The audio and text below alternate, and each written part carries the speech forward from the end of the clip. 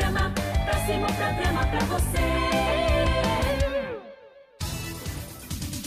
Os acontecimentos que fazem a história do Brasil e do mundo estarão em seu rádio a partir de agora, no Jornal da Manhã, com a equipe da Verdade, pela Difusora. 6 horas e 30 minutos em Manaus. Bom dia. Sejam todos bem-vindos ao Jornal da Manhã, edição de domingo. Aliás, a última edição de 2023. E antes de mais nada, um feliz ano novo a todos os nossos ouvintes. O Daily Time informa que o dia hoje terá duração de 12 horas, 20 minutos e 13 segundos, com meio-dia solar às 12 horas e 3 minutos. O Clima Tempo informa que é de 90% a probabilidade de chover 20 milímetros hoje e que a temperatura máxima deverá ser de 29 graus Celsius. O dia amanhece com 25 graus e 99% de umidade relativa do ar. As imagens lá de fora estão muito bonitas. Há algumas nuvens na linha do horizonte.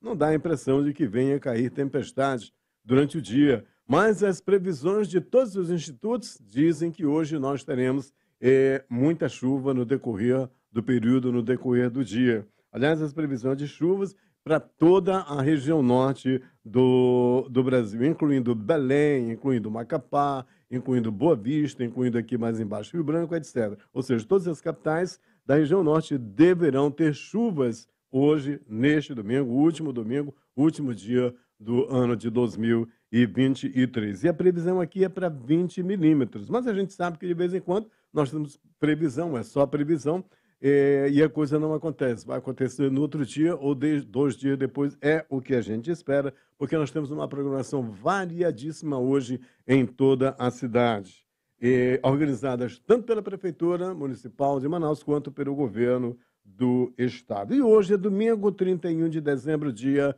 365. Acabou o ano. Este é o último dia do ano de 2023, dia de São Silvestre e véspera de Ano Novo. Também o dia das devoluções e o dia da esperança. O Ano Novo acontece dia 1 de janeiro e corresponde a uma comemoração baseada no calendário gregoriano, também chamado de cristão ou ocidental. A partir dessa data, que é feriado nacional, tem início um novo calendário anual. A história do Ano Novo é bem antiga. Algumas civilizações da antiguidade comemoravam a passagem de ano em março, tendo em conta o fim do inverno e a chegada da primavera. No Império Romano, a população celebrava esse dia em homenagem ao deus Jano, deus das mudanças e das transições. Foi em 46 a.C. que o imperador Júlio César decretou que nesse dia seria comemorado o Ano Novo, baseado no calendário juliano. Somente no final do século XVI, nessa data, foi finalmente oficializada com a adoção do calendário gregoriano pela Igreja Católica. Assim, com o passar do tempo, a data tornou-se um marco e, hoje em dia, a maioria dos países comemora a chegada do Ano Novo em 1 de janeiro. O significado do Ano Novo é esperança, renovação e mudança. Existe muita expectativa por parte das pessoas que, de que esse momento celebra o abandono do que não precisamos mais com a chegada de algo novo e de muitas realizações. A coisa é cíclica. Por esse motivo, diversas pessoas costumam fazer listas do que pretendem iniciar e conquistar nessa nova fase, aquelas resoluções que normalmente não são cumpridas. Réveillon. Como o Ano Novo é comemorado aqui no Brasil? A véspera de Ano Novo, também chamada de Réveillon, é celebrada no último dia do ano, dia 31 de dezembro. Hoje, portanto, a palavra faz referência ao verbo francês réveiller, que significa despertar, acordar, reanimar. Essa eu também não sabia. Fatos marcantes da história. Olha, essa daqui é boa. Inauguração do Teatro Amazonas como símbolo da prosperidade proporcionada pela borracha em 1896. Era realizada também a primeira corrida de São Silvestre em São Paulo em 1925. Daqui a pouquinho nós vamos falar sobre a corrida de São Silvestre. E esta é a edição de número 27.258 do Jornal da Manhã. O que é destaque nesta edição?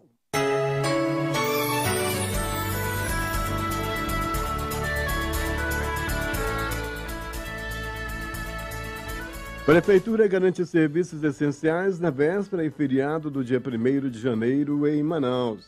Concessionária assegura fornecimento de energia para todas as festas de Réveillon em toda Manaus. Hoje é dia do sorteio da Mega da Virada. Não foi ontem, não, é hoje. Brasil tenta melhorar rendimento na São Silvestre. Hoje ainda, a mensagem de amor, de paz, de fé e de esperança com o arcebispo metropolitano de Manaus, Dom Leonardo Steiner. O Jornal da Manhã, 75 anos no ar, está começando agora. Mais uma vez, sejam todos bem-vindos a esta edição do Jornal da Manhã. E vamos as notícias.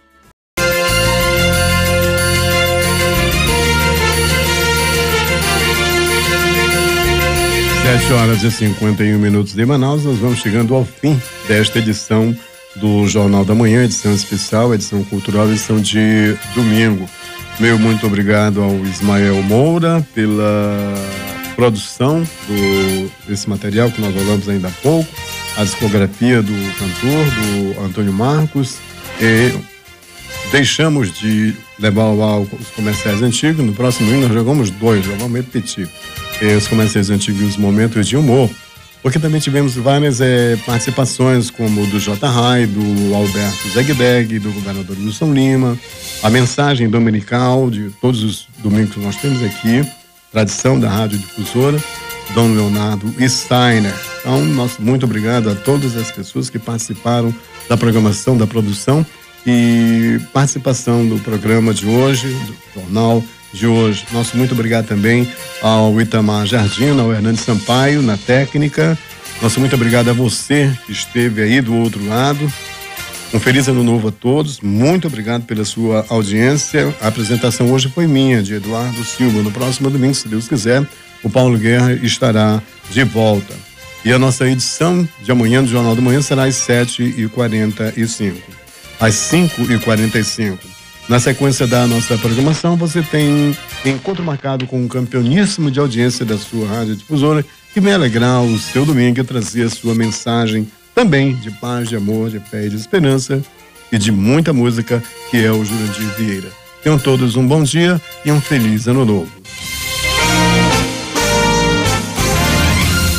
Hora certa. Sete horas e 53 minutos em Manaus. Domingo